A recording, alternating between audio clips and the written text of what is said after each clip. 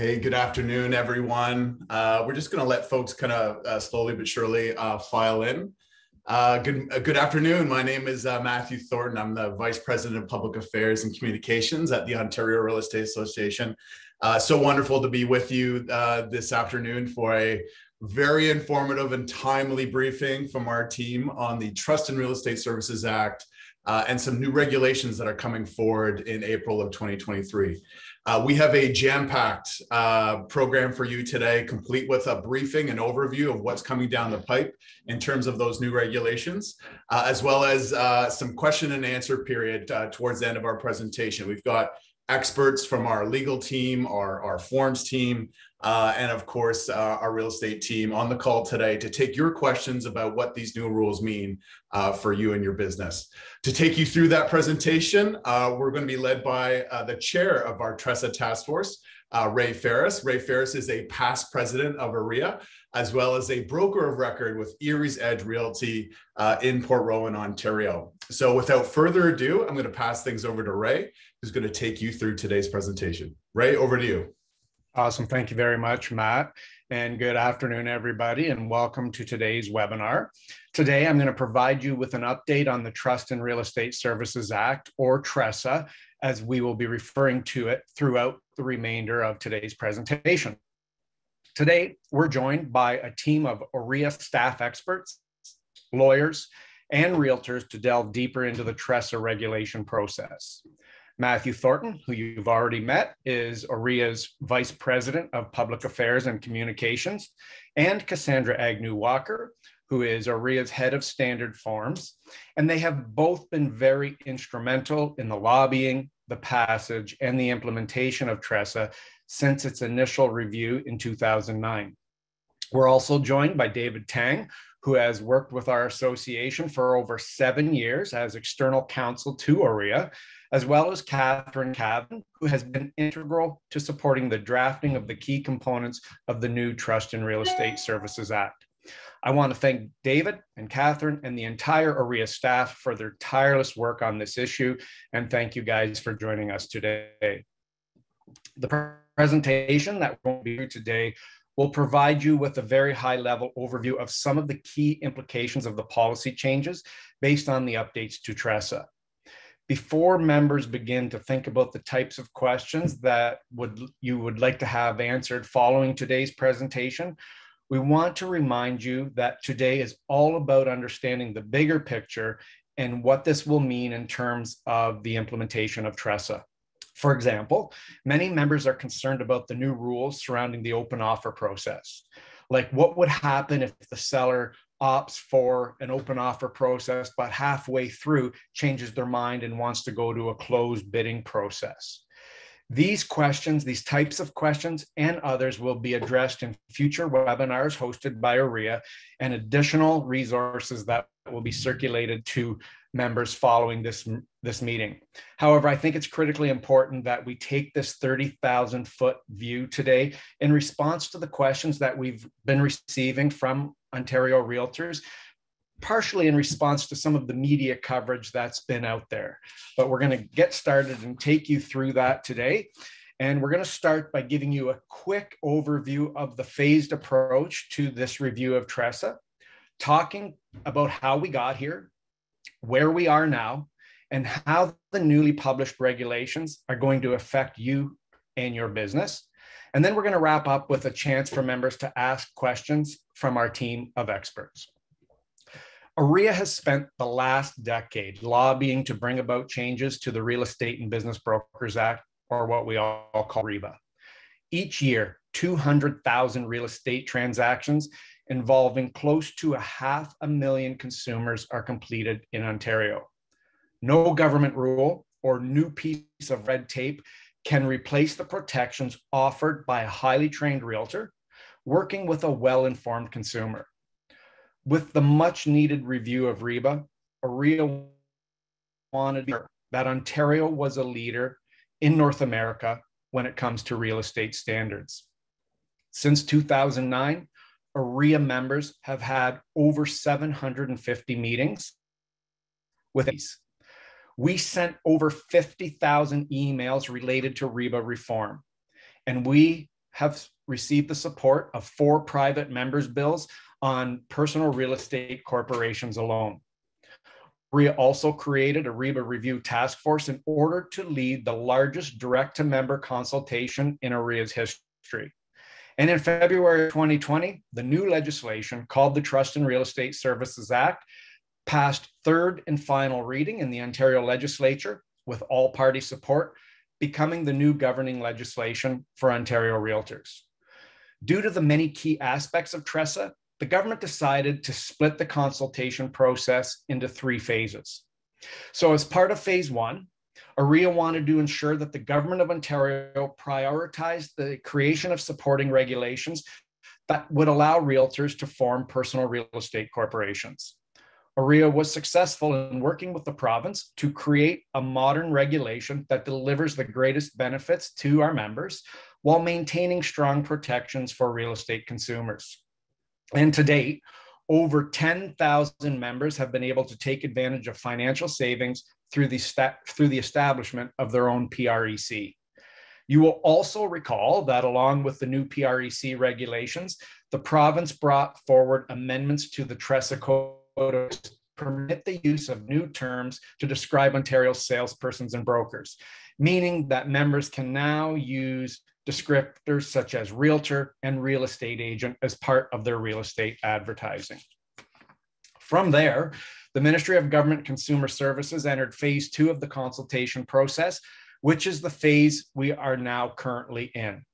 The ministry divided phase two into a number of different to ensure that each piece of legislation could be fully analyzed in order to develop the supporting regulations.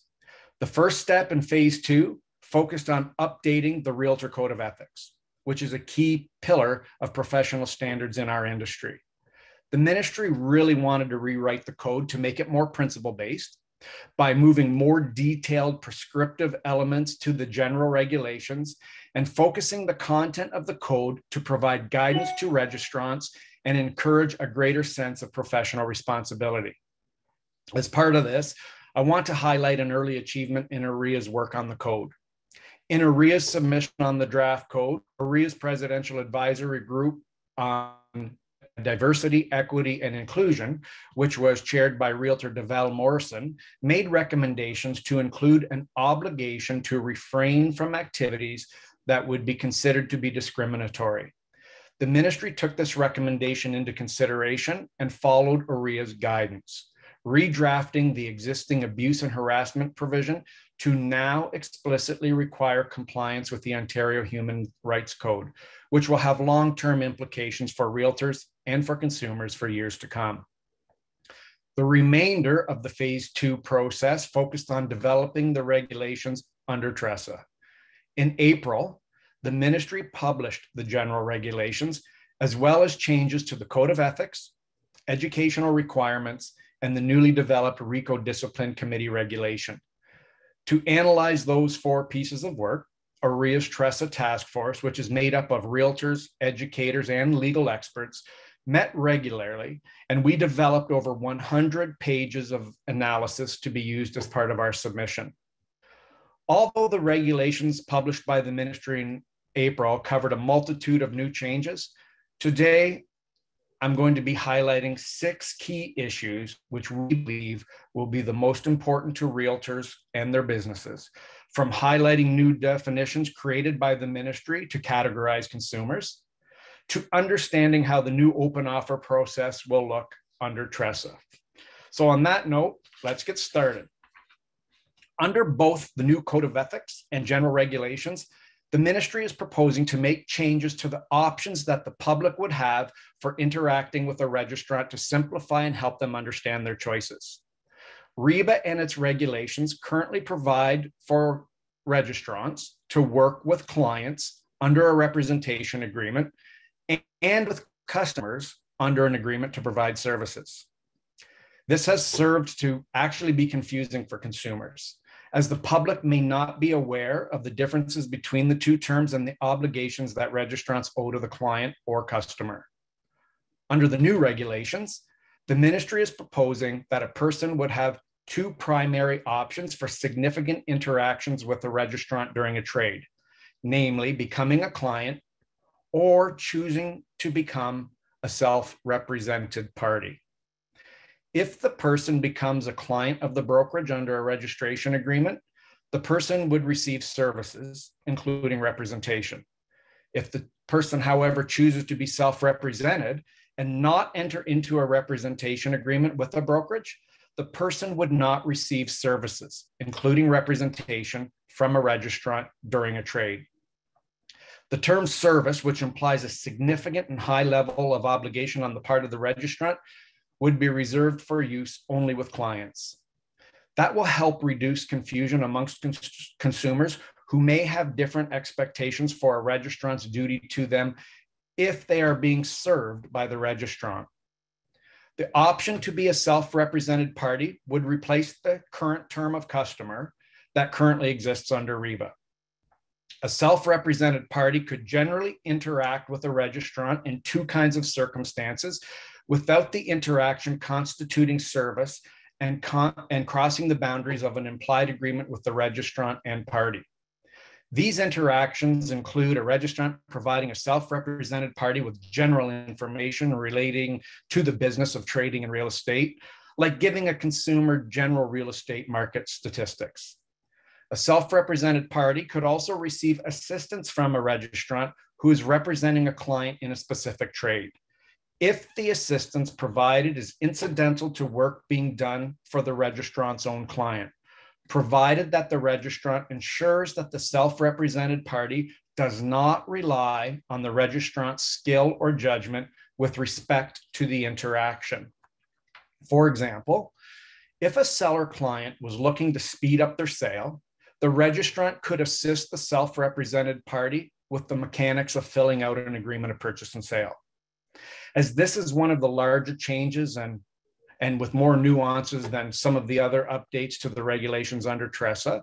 OREA is planning on holding a more detailed, tailored presentation on these new definitions and providing greater detail on this section in the future. Let's advance to information and disclosure obligations.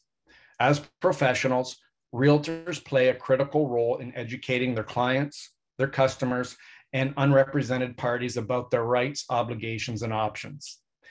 This communication is relayed to buyers and sellers on standard real estate forms and clauses. With this section of the new regulations, the ministry has aimed to improve the information that registrants must provide to consumers to help them better, better understand the choices available to them. The ministry will require brokerages to continue to provide specified information to consumers before entering into an agreement with a brokerage. An example of this would be requiring additional content requirements for representation agreements, like details about the breakdown of remuneration between brokerages with respect to a multiple representation situation. To improve consumer communication with registrants, OREA will continue to support enshrining more consumer friendly disclosures in the regulations under TRESA. We will also continue to advocate against mandating designated agency or preventing consumers from working with a registrant who they know, like, and trust. Accompanying the changes under the previous section, the ministry has written into the regulations that registrants will have to provide consumers with a newly created information guide prior to providing any real estate services or assistance. The information guide, which the ministry intends to be written by RECO with OREA's assistance, will replace OREA's working with a realtor document. This guide will outline registrant client relationships, provide examples of remuneration agreements and other obligations and rights that a client will have when entering into an agreement with their realtor. This information guide will also be available to self represented parties. When it comes to the actual creation of the content for the guide, OREA has already started to work with RECO to ensure that significant realtor experience and input is included. As with all aspects of the regulatory changes, the information guide will be provided to registrants before TRESA's implementation dates to allow us enough time to become familiar with the contents of the guide and become educated on how and when it should be provided to real estate consumers. The ministry created the new discipline committee regulation as a direct response to addressing and deterring unethical behavior by registrants through new mandatory rules for realtors. In an attempt to reduce bias during case hearings, the new RECO discipline committee will be made up of five or more members, one of whom will have no connection to the real estate industry. The ministry will also be expanding the scope of the committee. Under REBA, the discipline committee could only consider whether a registrant has failed to comply with the code of ethics and can issue a fine or require a registrant to take educational courses. With the new regulations, TRESA would authorize the discipline committee to consider whether a registrant has failed to comply with any provision of the act or regulations and have the ability to suspend, revoke, or apply conditions to a registration. As we move closer to the implementation date, OREA will be working with RECO to develop commentary related to how realtors will be able to appeal decisions made by the committee and other processes related to their operation. As part of this section of regulations, the ministry wanted to update the rules to help RECO operate more efficiently and focus their enforcement efforts where they are needed the most. As we know, RECO does, does not currently have express authority to collect transactional data about real estate trades. The lack of access, this lack of access rather, limits RECO's ability to target, target its compliance and enforcement initiatives to activities associated with the highest risk to the public. To assist in this process, the ministry wants to improve transparency and promote consumer confidence by requiring RECO to make more information about registrants publicly available, including reasons for any revocation of a registration, refusal to renew, or suspension outright of a registrant's registration. The ministry will also permit RECO to collect transactional data, like information related to the number of sales that involve multiple representation. As part of their approach, the ministry wants to specify the circumstances under which RECO may require that registrants provide information related to a trade. Under this amendment, data can only be collected for the purposes of greater regulatory oversight and consumer or registrant education. To further ensure that these requests wouldn't be burdensome on registrants, the ministry has made sure that a significant time period would be allotted to allow the registrants to gather the information collected, and again, would only require the collection of this information within the constraints of the administration of the Act or its regulations. The last section which we're going to review today is related to the offer process. As we know, REBA and its regulations do not regulate the practices of buyers or sellers. The changes under TRESA would give the public more choice in the real estate trade process by allowing a registrant to conduct an open offer process and disclose the details of competing offers at the discretion of the seller. As expected, buyers would be able to choose whether they want to participate in an open process or not. The open offer process is not mandatory, with with, with the traditional or closed offer process still remaining as an option for real estate consumers. As OREA holds the pen for forms related to the real estate transaction, our forms team will be developing new and updated forms and agreements to support members who are working with clients who are choosing either a closed or open, open offer process. As work progresses on this topic, this is another area in which OREA plans to hold a more detailed member webinar to walk through the regulations related to the offer process and give members more direction on the new products which they can expect to receive from OREA to help them facilitate these transactions. As OREA reflected on the new regulations, we created many comparisons with the help of our legal counsel to understand exactly how and where our asks were reflected in the new regulations. After two years of lobbying on phase two of TRESA, OREA was pleased to see so much strong alignment between our key advocacy points and the final set of regulations under TRESA. Although the changes under the new regulations are significant, OREA has a plan to work with the regulator and develop simplified realtor education pieces that will allow registrants to easily understand how these changes will, affect, will factor into their everyday interactions with the public. On that note, the ministry has set out an expected implementation timeline for the regulations to come into force for April of 2023. This deadline is a direct result of our recommendation from our task force, as members noted that the most important part of this process is giving OREA's 85,000 members enough time to become familiar with these updates to the regulations under TRESA.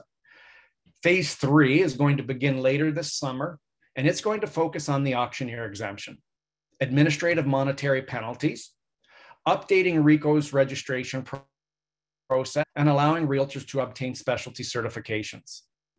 As you may have noticed, the auctioneer exemption is one area where OREA's asks on the new regulations did not align with the ministry's final regulations. Since the beginning of our work on REBA, OREA has maintained that all exemptions under the Act should be reviewed, strengthened, or removed altogether.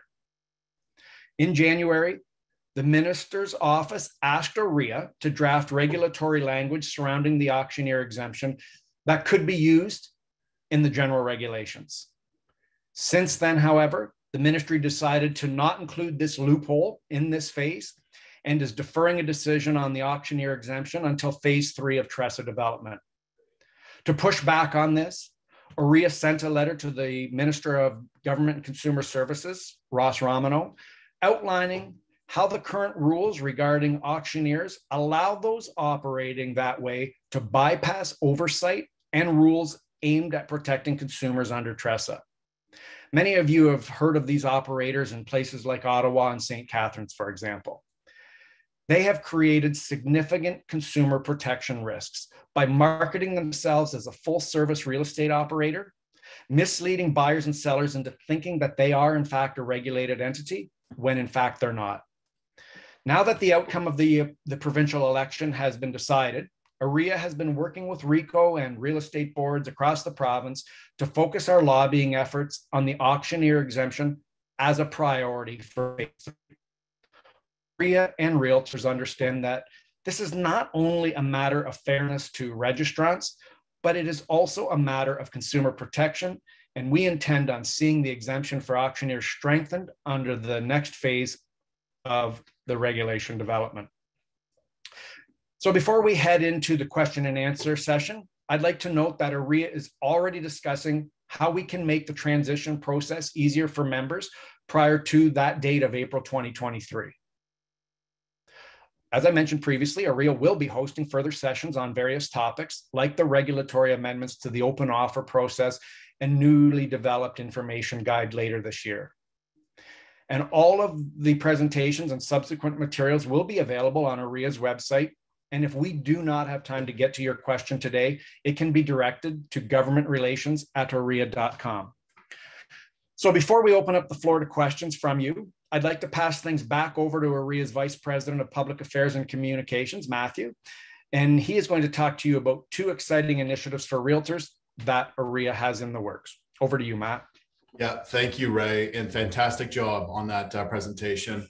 Uh, lots of great information. And as Ray said, we're going to be taking your questions here just in a couple minutes. So if there's questions you'd like to see addressed by our experts, uh, please type them into a chat. We'll do our best to get it to as many as we can uh, today. Uh, and if we don't, please uh, send us a follow-up email and we will make sure we get back to you. Just two quick items you want to highlight for folks on the call today. We have over 2,400 members on today's call. So really, really outstanding attendance from folks I know interested in this in this topic. The first one is uh, we're hosting a, a, a, big conference coming up in the fall, our reality conference happening November 22 to 23 in Toronto. Uh, we're, we'll, OREA is celebrating its 100th anniversary at this event, and it is going to be an exceptional conference. Uh, the only one of its kind, featuring, I think, some of the top talent from real estate, marketing, and politics all on one stage for two days. Uh, go to realityconference.ca to register. There's an early bird price on right now. Uh, so if you go, you'll get uh, a discount on tickets. At past events, we've had, you know, U.S. presidents, prime ministers, uh, some of the leading uh, thinkers in marketing and real estate, industry leaders. so don't miss it. Realityconference.ca to check that out. Uh, one other thing we want to highlight for, for members just before we get to Q&A, um, a new service that we've, we've launched here at the association, a relatively new.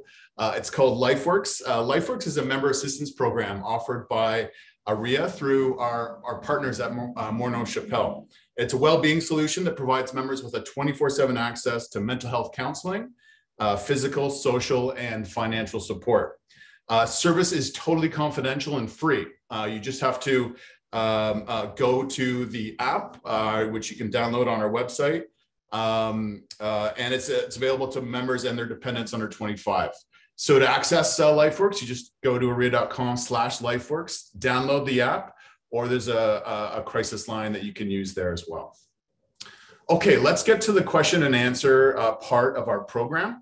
I'm going to invite our experts to, to, to join the call uh, now. Uh, we've got a lot of questions uh, in the chat, and we will do our best to get them uh, get to them. Uh, the first one uh, comes from Robert, and I'm going to throw this one to David Tang. Robert asks, is there a definition of discrimination in the code or referred to in the code? David, do you want to take that one?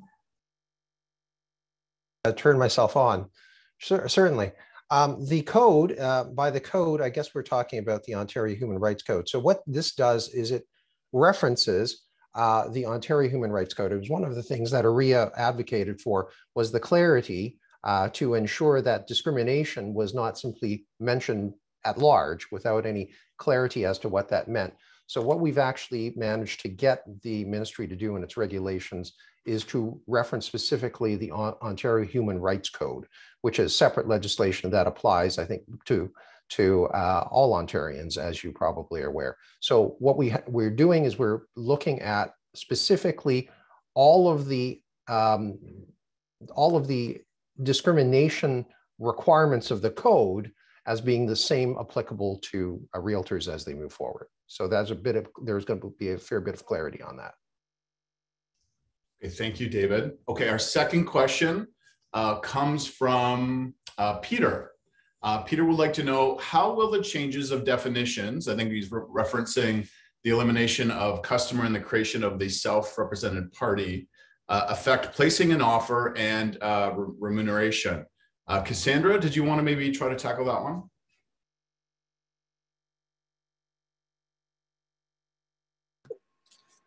Let's go into the definitions. Unmute. All right. Uh, I don't think the definitions themselves will uh, affect submitting offer or remuneration.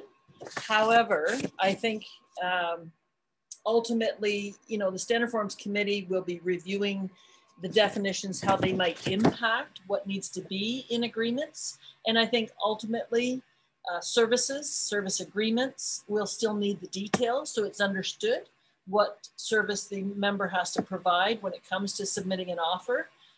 One, one section sim simply clearly uh, identifies, you know, how the ministry, how uh, TRESA establishes the parties. And the other will be how the member and the member brokerage relates their services to the actions that are required with those parties. Now, I didn't mean to go around a circle, uh, Ray. I think if there's anything else there, I, until we have an opportunity to do the comparisons to the potential revisions that the committee may be uh, recommending, uh, it's in my opinion, it doesn't appear to be directly linked to the definitions. Definitely, they'll have impact on the relationship forms and then the decisions will be that of the member and their brokerage, what services are connected and how they're going to go about their business with offers. And of course, claims for remuneration is entirely that written concept as, as well. So I think for, for what you're doing, how you're receiving it, the disclosures of remuneration, that'll all still be embedded in the documentation necessary around working with the parties in the transaction, in, in my opinion. So we'll see as, as it rolls out, Matt.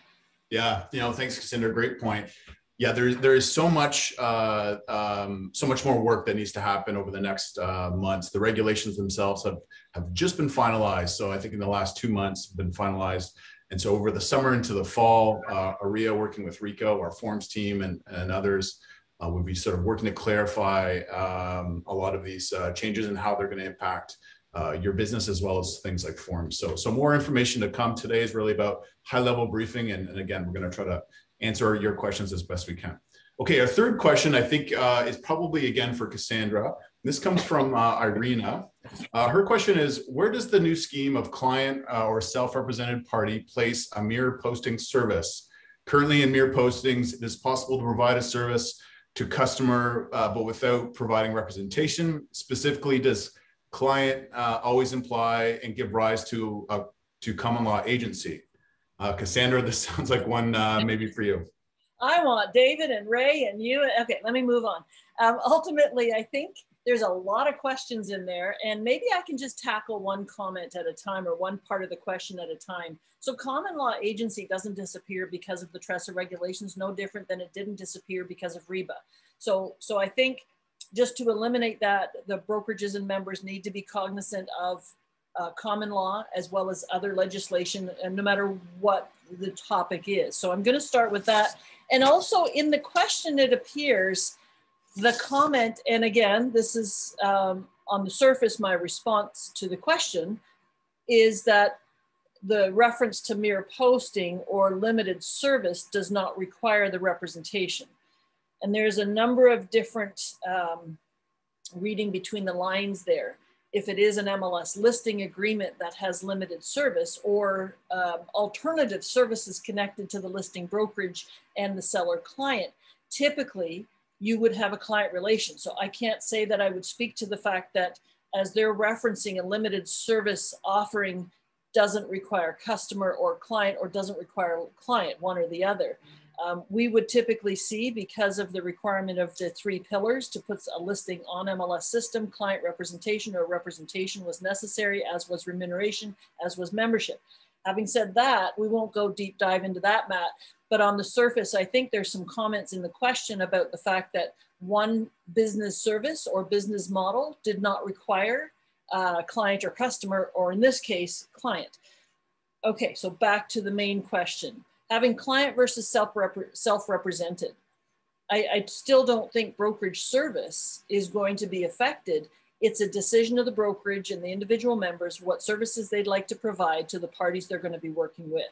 So on that basis, I think the clarity is what uh, TRESA and RECO will be looking for as far as exactly what are the two parties agreeing to and were there enough details so each of the seller or the buyer understood the service, the level of service, and, and specifically, sometimes they even talk about explicit explicit details that have to be spelled out. And I think that's really where TRESA in many areas is carrying that message. So I think the way it is, if a brokerage has a service, they're likely going to be able to continue it. However, there's those other peripherals. So um, leaving it at that again, once again, the brokerage will review their services as um, connected to the new TRESA regulations the documentation as we have now, Forms 202, uh, all the customer service and the client representation agreements, they will be reviewed to know if they need to apply other language within. So if that helps, Matt, I'm going to stop there because otherwise I'm really swirling in deep dive areas of that question. yeah, and, and and so much more work to come. And thank you, Cassandra, for that. Um, um, and, and lots of questions in the chat about whether or not today's session is going to be recorded and available for uh, folks to view afterwards. The answer is yes, where we are recording this session. We'll be posting it to orea.com uh, later this week so that members can uh, can access it uh, for follow-up information. Okay, let's give Cassandra a, a break. Uh, and I want uh, one for David. and David, this question is from Michelle, and she's wondering, is the open offer process for residential only or commercial transactions as well? So the regulation will not differentiate between residential and commercial transactions. So the uh, potential for an open process is available to both.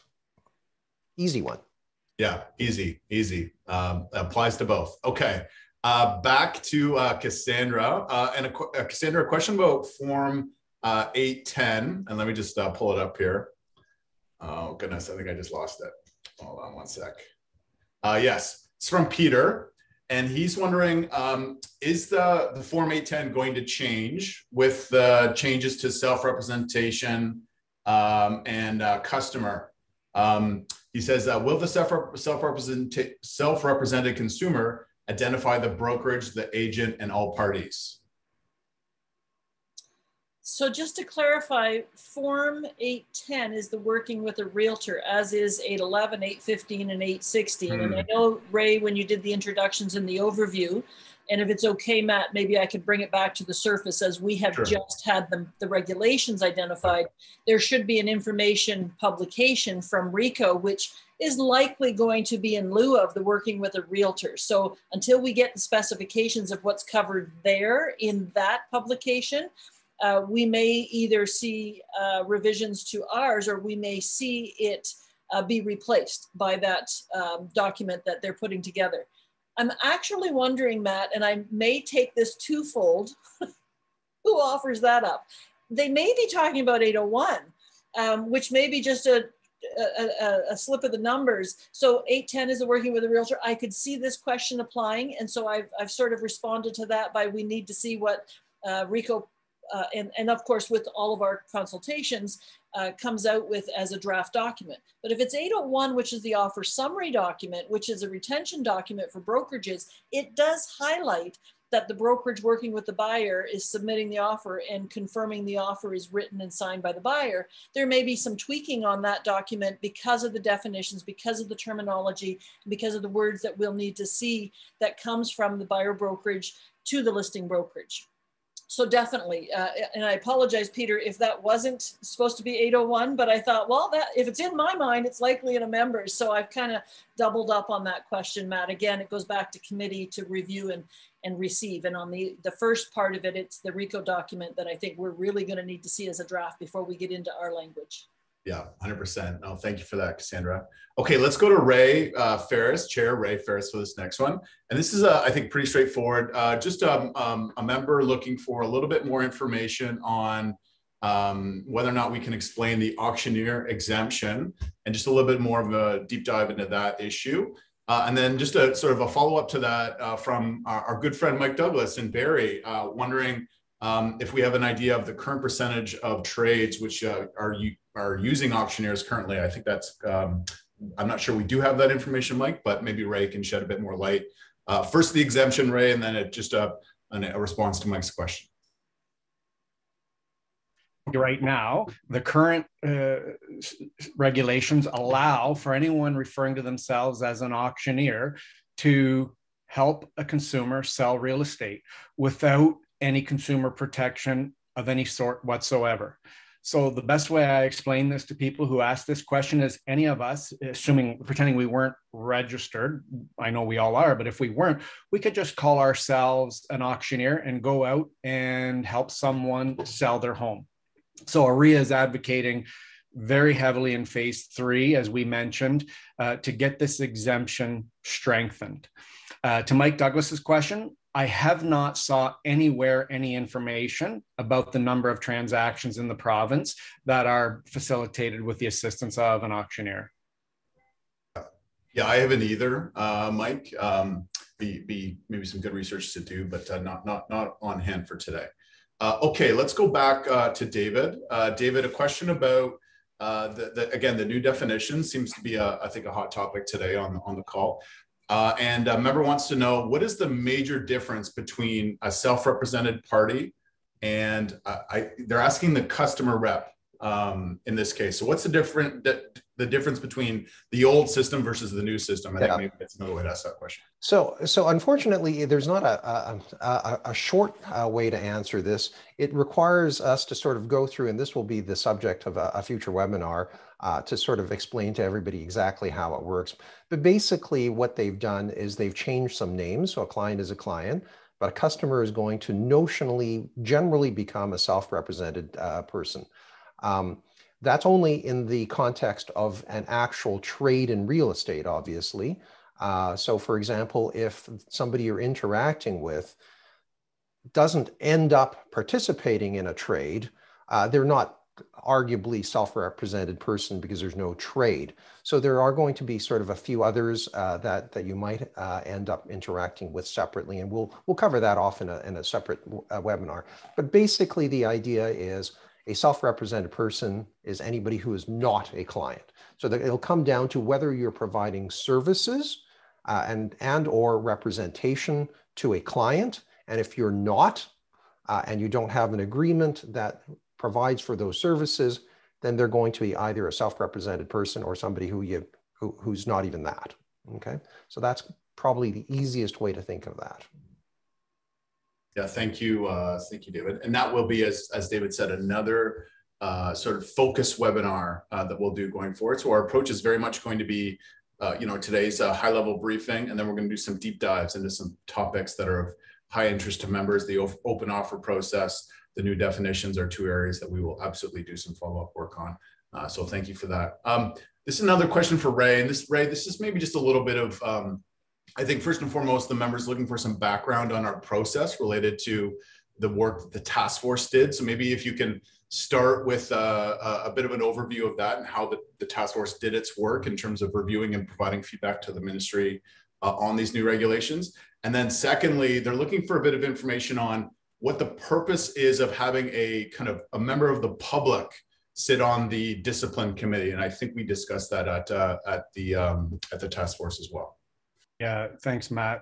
Uh, so what we received from the ministry was um, draft regulations. So that was areas of the regulation that they were considering. And the government and MGCS, the ministry, looked to us as experts in the field as to how we could make this work. And a lot of the stuff that we received, uh, we we toyed with. We we we put forward what we thought would work best for Ontario realtors and, of course, Ontario consumers as well. So what we just received, what the ministry was contemplating, and we helped them perfect it, if you will. Uh, with regards to uh, what was your second question there, Matt? I'm sorry, I forgot. Yeah, the so the uh, the member wanted to know. Uh, so they the new reg, the new discipline committee regulations. Oh right, yeah. Adding a, a, a, a, kind of a member of the public to the committee. So just sort of uh, some background on why that that change being made. Yeah, well, I think that is so that you can have somebody who really has no knowledge of real estate transactions, like real estate education. But I think what the ministry wants is to have somebody who's an outsider uh, sitting there on the discipline committee to, you know, almost sniff test. How, how, how does this look and feel to somebody who who really doesn't have real estate education like all of us do? Yeah, yeah, it's it's really about I think um, providing that um, non-industry perspective on on on discipline decisions, uh, that consumer sort of perspective, uh, very valuable, especially given the mandate of, of the regulator. So, uh, Ray, a, a, bunch of questions on the information guide, uh, sort of what's going to be in it, when are we going to be able to see it, all that kind of thing. I know it's very early days on that, but maybe if you can just talk a little bit about uh, our process around the guide going forward and and uh, you know when members can maybe start to maybe see I, I don't know if we have a date yet even uh, yeah. but maybe start to see some information there yeah that's a great question because you know that is likely what is going to replace as we've mentioned the current working with a realtor document and the ministry has said that RECO is responsible for drafting the information guide, but OREA has held firm and advocated very strongly all along that we want OREA input into the creation of this information guide. I mean, we've been very, very firm on that all along. Uh, we had a meeting with our counterparts at the regulator. And uh, you know what? We had a very productive, positive meeting with them. We expressed to them that we did want to provide input into the creation of the information guide, and they were very welcome to that idea. With regards to the question as timing, I mean, we don't have a time as of right now, um, but we've already started the ball rolling about a month, month and a half ago. We did meet with RECO, as I mentioned. So uh, it's in the works. But as far as a definite date when we can show you something, that's unknown at this time. Yeah. Yeah. No, thanks, Ray. Um, a lot of questions about sort of uh, can we get a copy of the new regulations? Can you share, uh, you know, this information? Uh, what we'll commit to post post webinar, probably later this week when we get this uploaded and onto our website, an email with uh, links to all of this content, links to the to the regulations that aren't enforced yet. Remember, they're not coming into force until April of next year uh, for members, uh, so that they can access that information. So we'll we'll circulate that later. Um, a question for for David and I think probably Cassandra as well. Um, just a member looking for some more information about what these changes mean uh, to sort of multiple representation more broadly. So that's uh, that's I, guess that's a bit of an open-ended question, but uh, whatever sort of information at this stage we can offer. Uh, who wants to jump in first? Um, I'm unmuted, so why don't I why don't I start? So the regulations do not prohibit it. Um, there, uh, there is no there is no concern that uh, multiple representation acting for the buyer and the seller uh, is is now prohibited. What the regulations generally do do is to try and sort of make it a bit clearer as to what sort of uh, information and disclosure you must provide uh, to ensure that there are no conflicts of interest uh, that, that exist. Uh, so that's been the approach, and it was something that OREA was very clear to the ministry about, is that multiple representation is not a bad thing. Uh, it, uh, it, can be very, very beneficial to both the buyer and the seller in terms of reducing the overall cost and providing clarity in terms of what, what can happen. But at the end of the day, what uh, as part of this entire process, there was a desire uh, on both the ministries and everybody else's part to try and make things clearer about what your obligations are. And that's what you see as a thread running through most of these regulations. We have uh, particularized a, a, number of requirements so that it's easier for you and for those of you who are brokers to implement uh, the sorts of documents that your uh, that your sales agents will probably need to, to, to work with to make it clearer and make it simpler so that you don't fall afoul of the already existing obligations with respect to disclosure and conflict of interest. Thank you, David. Uh, Cassandra, anything to add there? Uh, I think David did a fantastic job. I might sum, summarize from a practical perspective as well, not unlike current regulations and actually the Act, uh, the general and the code, they identify you can't do this without the consent of the party. So as David said, that that isn't something that's now prohibited, but we might find the requirement. So for those that are very uh, REBBA familiar and, and regulation and code familiar, you might find that how it's placed where the obligations of the disclosure, the information exchange, the documentation, and the consents. It may be found in different locations of the regulations per se. Um, and, and I think just if members consider if they're uh, com complete with their process currently and their consumers are, are fully informed of the options of the services, how the services could be impacted. So you've got a beginning and then you've got a middle along the way to be cognizant of how uh, perspective is. They don't want any consumers confused in any way, as I don't think any realtor or member does. And then you'll have that final point before negotiations, which will continue. So you've got a beginning, a middle, and the end, constant communication, documentation, and essentially the same kind of details when it comes around to consent. So I don't know if that makes that summary and more practical, but I, I, I uh, I'm glad David took that front end and, and clarified. Thank you yeah, no, thanks, Cassandra. Thanks, great, great information.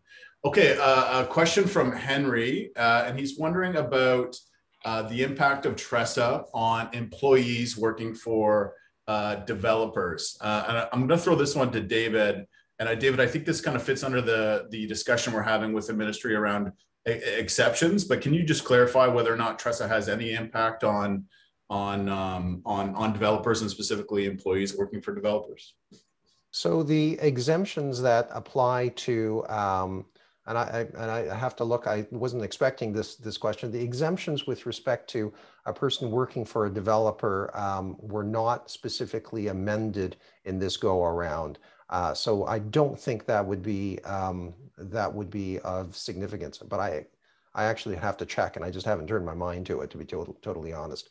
So um, we can certainly take a look again uh, and um, respond to that. But I don't, I don't think that particular exception, which was not a, a focus of any of the discussions we had with the ministry, was raised at all.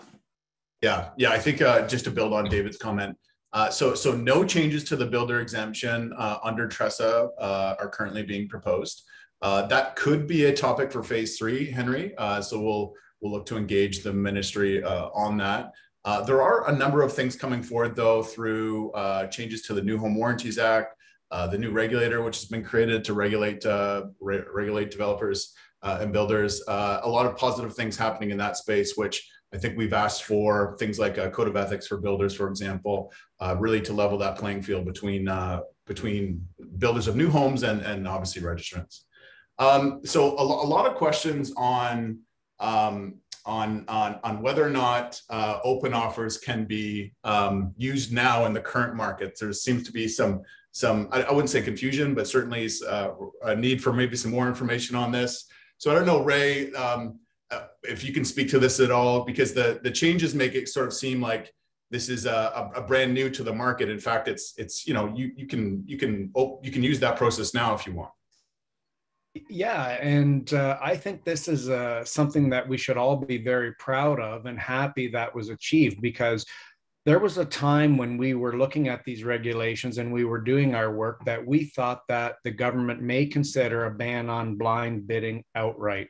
And it was only through the hard work of OREA that consumer choice was preserved and consumers now have well, they've always had this option. Uh, so really i think what i like to say is that the association uh, achieved the status quo. Maybe what's different is that because of the media coverage that all of this has received that there's more consumer awareness now and maybe there's more member awareness now which is a good thing right? But at the end of the day i think we achieved the status quo and we stopped an outright ban on bidding altogether. Yeah, that was, uh, I know that was a hot topic in the federal election uh, last year. And uh, up until the provincial election, that was a, a topic that we were actively engaged with the, the Ford government on. Uh, and, and it was, to be totally honest, under consideration. And uh, your team, led by Ray and, and our leaders, uh, were successful, I think, in, in, convincing the government that that's not the best thing for consumers uh, at the end of the day. Um, uh, Ray, a, a, bunch of questions on next steps and sort of looking ahead to phase three. You touched on it in your presentation, but I wonder if you can just kind of reinforce or reaffirm uh, what can we expect to see in the sort of next phase of the TRESA regulation work? Couple, I know a couple new things that we're working on. Yeah, what I'm really excited about in phase three is the possibility of specialty certification so that realtors can take additional educational requirements to be able to certify, certify themselves as a specialist in a particular area of real estate, such as maybe a condo specialist or a recreational specialist or a residential specialist, as examples. And I did mention earlier off the top that we were going to be looking at the uh, discipline, uh, the, the, way that RECO uh, works within the discipline process as well. And Ray, can uh, a question uh, asked in the chat? Can you talk about some of the specializations that we're kind of referring to? Like what what specializations would uh, potentially move forward under the new designation? To, we we haven't got to phase three as of yet, but we know under this big giant umbrella of specialty certifications, it's something that we're going to be considering. You know, I you know I think of things like uh, specialty certification as somebody who trades solely in condos as an example. But i mean it's if the members have any suggestions that they would like us to advocate for i already gave you the email address government relations at please let us know what your thoughts are yeah, the, the one that comes up uh, quite a bit is commercial, commercial uh, right. real estate, and, and the need for a, um, uh, a specialty designation there uh, to, to, to, to sort of help um, help um, help differentiate and help um, explain and, and, clarify for consumers that the, the, there's a unique skill set on behalf of the registrar. Uh, okay, so we're, we're getting down to the end of our our um, our uh, presentation today. Uh, I just want to kind of offer our, our panelists and our, our, our experts kind of an open-ended opportunity to sort of uh, offer any final thoughts uh, to our members on the call today about next steps, about uh, sort of what they can expect to see from us on a go-forward basis. And then I'm going to throw it to Ray to kind of um, conclude. Uh, so does that, Cassandra, does you, is there anything you want to kind of wrap up today's webinar with today? Absolutely. Uh, because there have been a lot of emails and phone calls in addition to I know what GR and and uh, your your team is is doing. So so I mean this webinar obviously is kind of like a first step of the overview of those TRESA regulations in depth. So it's fantastic. Hopefully the April bulletin was also read. I, I would encourage members and brokerages to be patient, continue the business as status quo, and that sounds like okay, just keep doing what you're doing and don't think ahead. But ultimately, these regulations come in effect 2023. And I know all of that was mentioned, but you've got to be patient in order to take time to review, to be abreast, and really know how things might change your service. Then take a look at your services and identify and work with your brokerage to know how it might change come 2023. And of course, continue to be on alert for more uh, OREA communications, especially where we might be talking, I suspect, a lot closer to the the, uh, the date in 2023 with forms revisions to accommodate much of what we've talked about today. So patience, patience, patience, Matt. That's what I would say. And continue on business. Can I just throw in one quick thing? Somebody a year and a half ago, because there was a consultation paper uh, referencing self-represented and such, somebody said, why do you still have forms for customer? That was a year and a half ago. So we're still getting mm-hmm. those kinds of comments. And it really is disheartening that we're, you know, we're hearing members a little bit confused, but we know that uh, patience and continued communication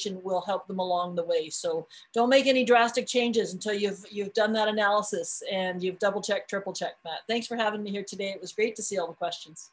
Yeah, thanks, Cassandra. And we're so appreciative of your expertise and your knowledge uh, for for all of these uh, these questions from members, but also all the work that's going to happen in the future with our forums and with our uh, information that we'll be providing to members.